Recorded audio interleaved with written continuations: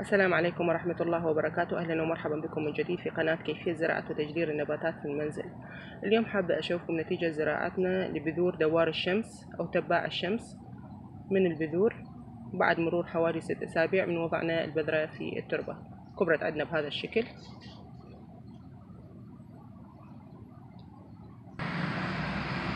هنا طلعت عندنا زهرة. طريقة ناجحة مية بالمية. إن شاء الله. إذا عجبكم الفيديو أرجو الإشتراك بالقناة وتفعيل الجرس وعمل مشاركة ولايك ليصلكم كل جديد. السلام عليكم ورحمة الله وبركاته.